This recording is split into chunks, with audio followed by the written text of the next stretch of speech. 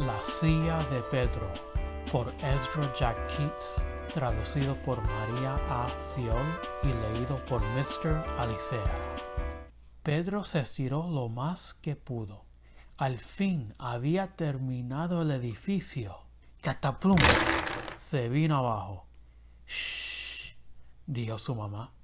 Tienes que jugar sin hacer tanto ruido.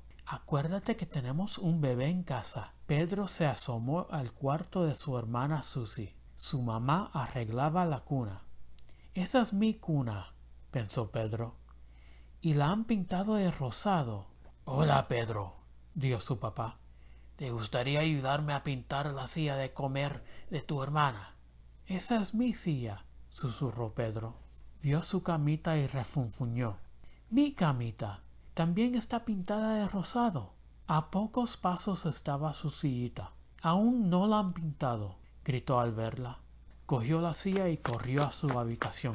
Willy, vamos a escaparnos, dijo Pedro, y llenó una bolsa grande con galletitas y con bizcochos para el perro. Llevaremos mi silla azul, mi cocodrilo de juguete y la foto de cuando yo era un bebé. Willy agarró su hueso. Salieron y se pararon frente a la casa. Este es un buen lugar, dijo Pedro. Arregló cuidadosamente sus cosas y decidió sentarse en su silla por un rato. Pero no cabía en la silla. Era muy pequeña. La mamá se asomó a la ventana y lo llamó. Pedro, cariño, ¿no vas a regresar a casa? Tenemos algo especial para el almuerzo. Pedro y Willy hicieron como si no hubieran oído. Pero en ese momento a Pedro se le ocurrió una idea. Al poco rato la mamá se dio cuenta de que Pedro ya estaba en la casa. Ese pícaro está escondido detrás de la cortina, dijo alegremente. Movió la cortina, pero Pedro no estaba ahí.